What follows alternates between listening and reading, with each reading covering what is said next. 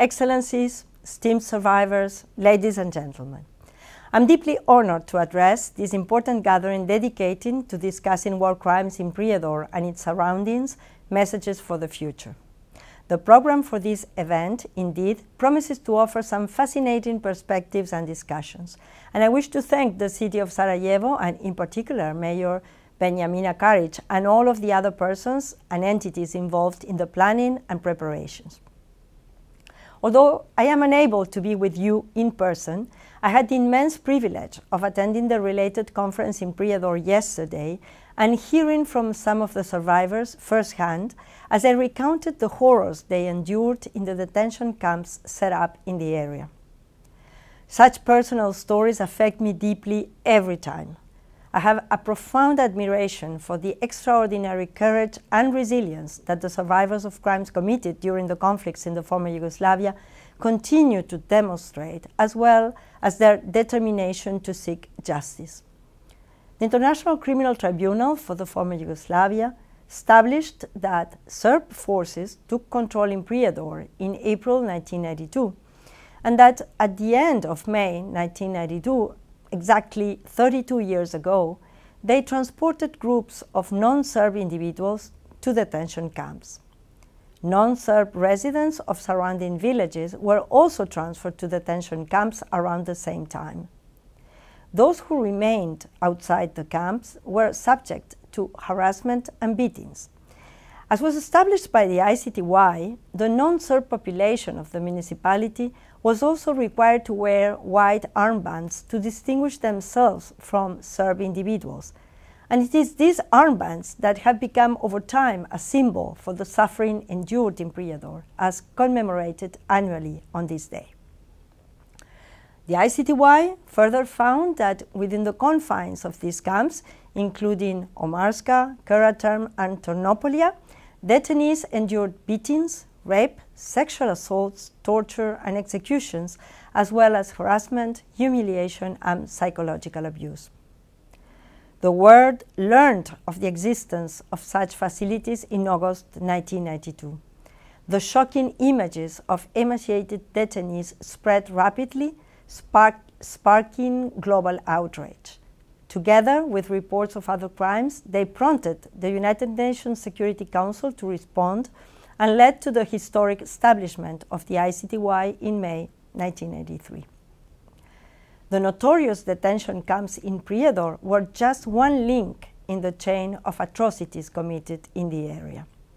The ICTY established that the camps were accompanied by forcible arrests, mistreatment, killings, both within and outside the camps, and the destruction of religious and cultural property, forcing the Bosnian Muslim and Bosnian Croat population of the municipality to leave and forming part of a broader ethnic cleansing plan.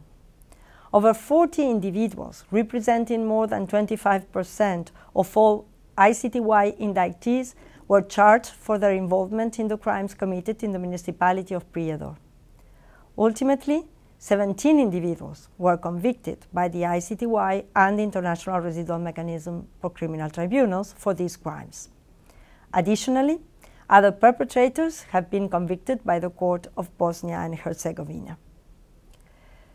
The judicial findings made by the ICTY regarding the crimes committed in Prijedor were, in many respects, groundbreaking in advancing international criminal law. The pertinent ICTY cases consolidated that rape and other forms of sexual violence could amount to torture punishable as both a war crime and a crime against humanity. They also clarified that the crime of persecution extends beyond physical violence to include harassment, humiliation, and psychological abuse. These cases have therefore significantly contributed to promoting accountability for atrocity crimes. In addition, the irrefutable judicial findings reached by the ICTY and the mechanism have helped to establish a solid historical record of the events that took place during the 1990s conflicts. In this regard, we all can and must play a role in protecting and promoting them. For its part, the mechanism is committed to preserving the valuable legacy of these tribunals and to assisting national jurisdictions in their efforts to deliver justice for crimes committed during the conflicts in the former Yugoslavia. However, it is essential that national stakeholders in the region are also actively involved in this process. Excellencies, esteemed survivors, ladies and gentlemen, I strongly believe that each of us has a responsibility to firmly reject denial, revisionism, and the glorification of convicted war criminals. These phenomena only serve to perpetuate ethnic divisions and hinder the healing process for survivors and their families, for the affected communities and societies at large. In this context, accepting and reflecting on the facts judicially established by the ICTY and the mechanism is of critical importance.